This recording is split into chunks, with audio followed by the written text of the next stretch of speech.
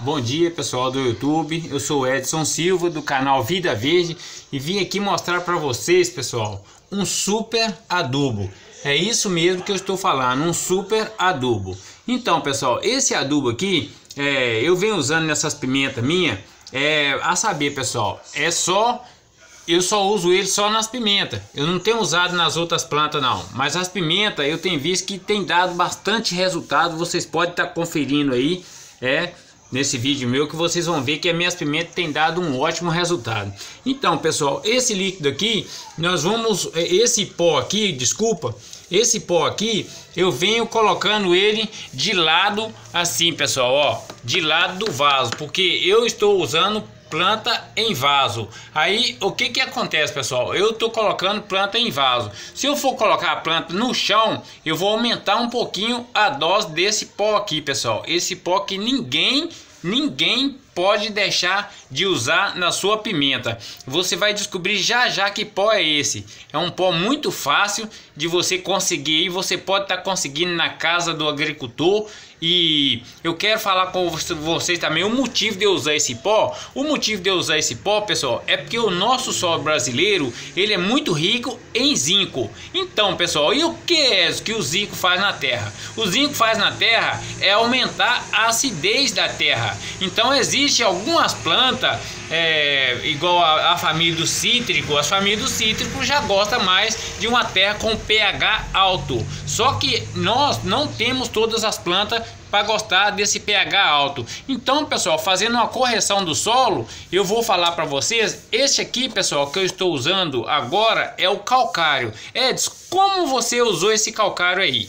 Como você vai usar? Pessoal, são três colheres de calcário dessa colher aqui, da colher de sopa, três colheres de calcário e uma colher de pó de café. Pó de café não é a borra de café já utilizada, é o pó de café novo mesmo. Eu coloquei uma colher de pó de café e três colheres de calcário.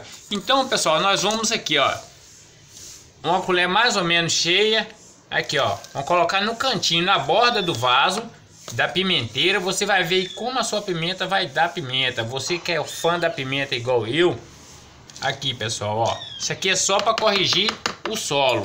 Eu corrigindo o solo, pessoal, aí o que, que eu vou fazer aqui agora?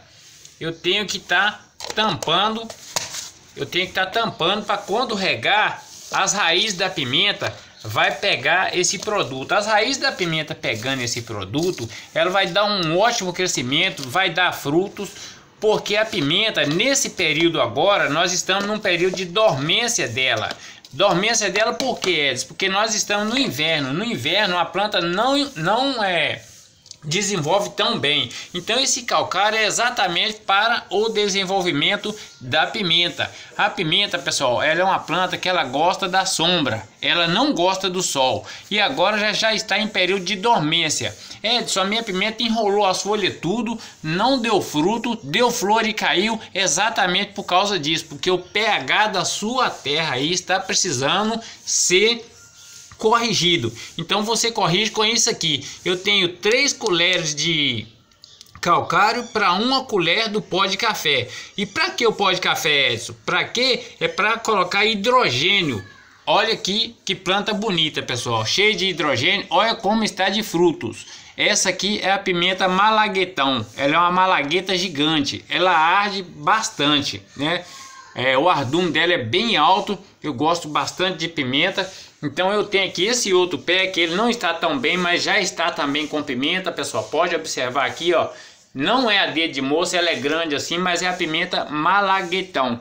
É a pimenta malagueta grande, né? Então ela tá dando assim, mas ela tá dependendo disso aqui, ó. É isso que eu tenho colocado nela para ela dar bonitinha assim. No tempo de frio ela não tá com a sua enrolado. Pode observar que ela tá linda, maravilhosa. É isso aí que eu queria mostrar para vocês. Se vocês gostaram, se inscreva no canal e deixa aí o seu like como gostei. E eu queria passar para vocês aqui é o número do meu zap, pessoal. O número do meu zap, do meu zap, eu tô no DDD 31 9 9341 2002. Repetindo, pessoal, eu tô no DDD 31 99341 2002. Pessoal, muito obrigado. Se inscreva no canal e fique com Deus.